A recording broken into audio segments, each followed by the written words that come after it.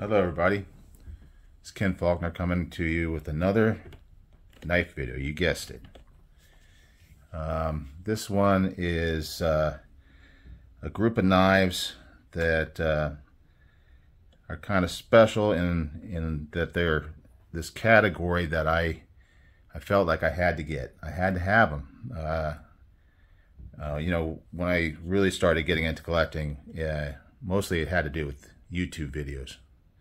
But um, I watch it. I'd watch like uh, Blade HQ's videos, uh, and they'd be showing all the new knives coming in. And They'd be talking about knives, and they would just they would talk about these knives as if they just are the most amazing thing you've ever you can ever imagine, and uh, you got to have one. So uh, I see this group of knives as being um, for me, FOMO knives. When I say FOMO, I'm talking about fear of missing out. And I didn't want to be that knife collector out there that didn't know what they were talking about when they said how great these things are. So let's get into it. Um, I got the first one here. Should be pretty familiar to, to, to most people. This one here was uh, a very reasonably priced knife. Very uh, budget friendly and therefore um, I think that a lot of people who don't want to spend as much as some of these knives may cost, uh, would be willing to get this one because it's it's a good quality knife, and that's that's the thing that you hear all the time. You also hear uh, Beast Blade saying you got to have a penguin. So this is the QSP penguin. I got this one kind of early on. They've come out with a bunch of different styles, different uh, um, scales. Um, I think they have you know different sizes. This is just the basic one in D2, but it's got that great sheep's foot uh, blade, which is really a great, uh, is a great shape for a knife, especially in this size range. It's got uh, the micarta. I, I, don't know if this is the denim micarta. It's kind of a little dark over time, just from me uh, using it. But uh, anyway, great little knife. I mean, solid. It's really a good design. And um, yeah, I'd recommend it to anybody. I mean, you know, no matter what your price range is, uh, it's a good knife. If if you like more expensive knives, you can just leave this one around just to use it, you know, just to put it somewhere where you might just need a knife that you can just not worry about doing any damage with because it's it's such a reasonable price. So that's the first one, the QSP Penguin. Next one, uh, this one is uh, super popular.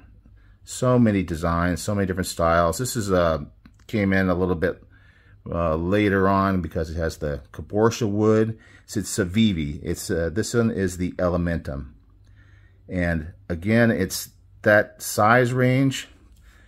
Uh, maybe a little more expensive than your uh, your Penguin, but it's still a decent price. I mean, Civivi is the budget brand for WE. Um, you can go to Sencut for even cheaper ones, but but this knife, uh, for the price, definitely a good quality knife. I like this wood. I like wood handles. I think it's really nice.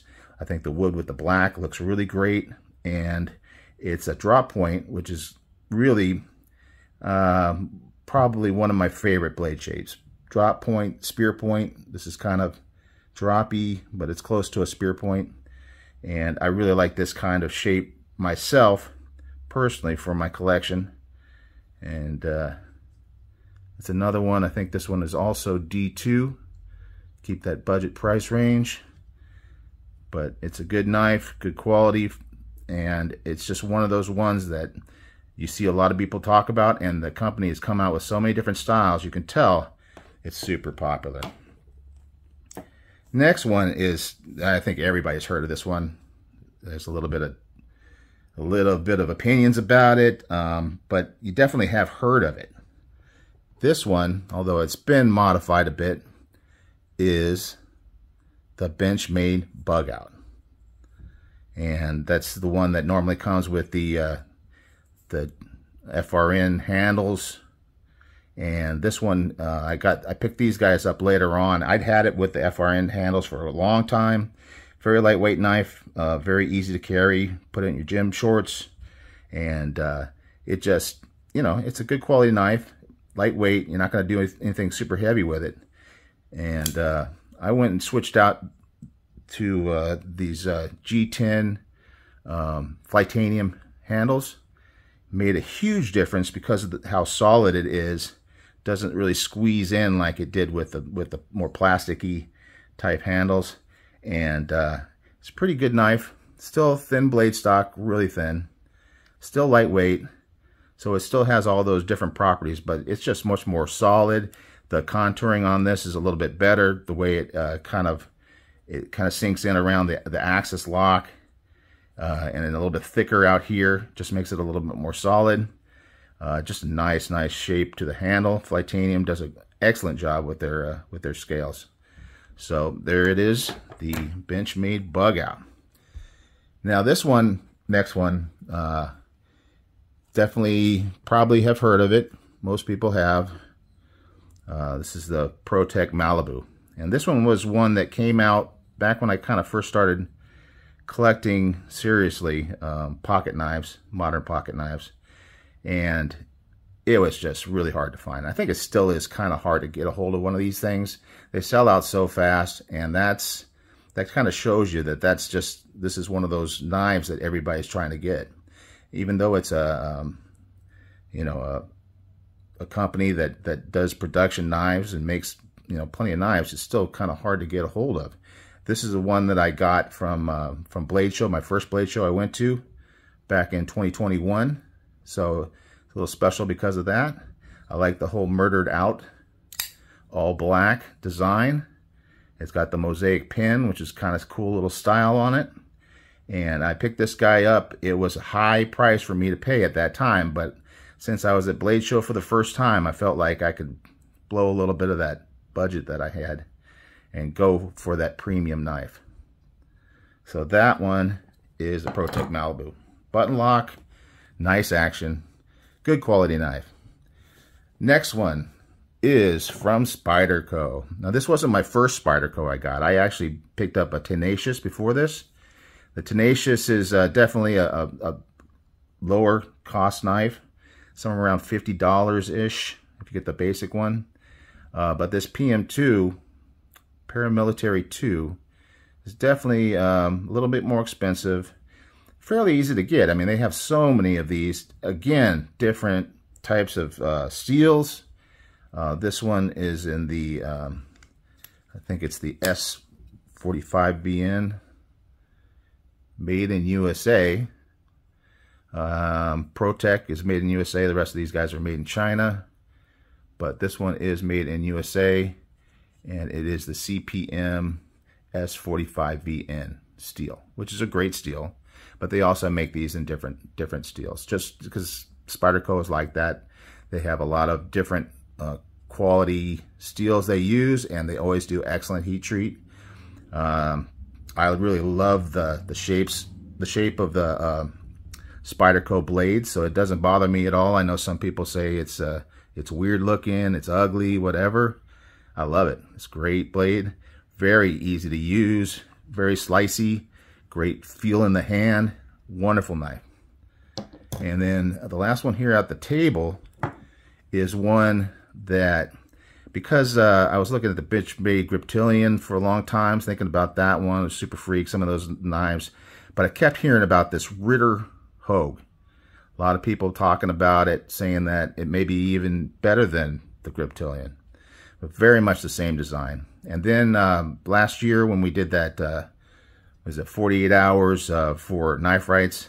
I heard Doug talking about how, you know, he is able to do what he does for knife rights because he sells these knives. And that kind of just kind of put me over the edge because I'd been thinking about it for a long time, heard so much about it. I decided that night, I went ahead and, and ordered it.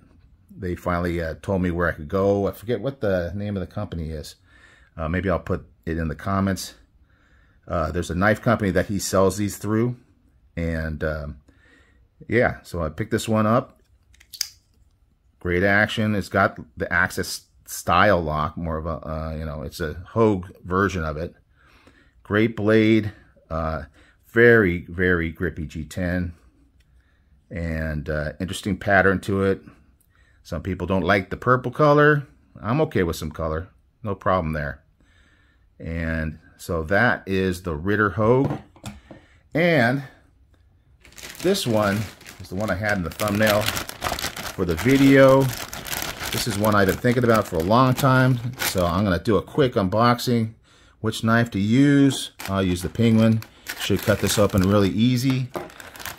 This knife is something I've had. You can see what it says there. Edge of a Legend. And it is a legendary knife. It's from Buck. It's some something that um, I've wanted for a long, long, long time, but just never pulled the trigger. And I knew I was going to do this video, so I said to myself, I'm going to actually spend some money, buy a knife for the channel. And this is the first time I've actually done that. I've spent money on like a camera stand for my phone, that kind of thing, but I never actually bought a knife specifically for the channel. So that's what I did here. So I'm going to get these other knives moved up and we're going to do this unboxing really quick here. Because uh, everybody knows this knife. I think most, most everybody knows this knife. So you don't really need to talk about it much. This is my first actual experience handling it. But uh, this is the tried and true Buck 110. Isn't that a beauty? So nice. And my fingerprints on it already. It is just a awesome little lockback. Just a classic style. And I'm really surprised I didn't buy one of these before now. It just, I've, for whatever reason, maybe you have knives like that where you've been thinking about it, but you just don't do it. And you think about it, but there's something else. And so I finally did it. Even went to Amazon, got that quick delivery so I can go ahead and do this video and show this guy off to you guys. It's got the Buck information here. Famous Forever Warranty. I'll have to check that out, read that. But it's just one of those companies. Now, I don't know if this one is USA made. It's got this uh, this belt um, pouch. That's just the traditional. And I don't know if it's USA. Oh, here you go. Made in the USA. You gotta like that. So anyway, great knife. I'm really looking forward to carrying this quite a bit, using it. Nice solid knife. I mean, I think I can really do a lot with this thing. So anyway, so now I got another FOMO knife taken care of, checked off my list. There are some other ones. I, I still don't have an Ontario RAT 1. And that's something everybody has, everybody talks about. I got the two, but I don't have the one. A couple other knives out there. There's other knives that uh, I've been thinking about but haven't done yet. But uh, we'll see over time. I might be picking them up. So anyway, thanks for watching. Thanks for everybody that comments on the videos. You guys are awesome. Uh, you make it all worthwhile to, to take the time to do these videos. Um, and uh, let me know if you got knives, if you have knife FOMO, if you have knives that you bought because of it, if you have ones that you've been wanting to get but you just haven't got, uh, let me know in the comments. All right? Hey, you guys, have a good day, and we'll see you later. Bye.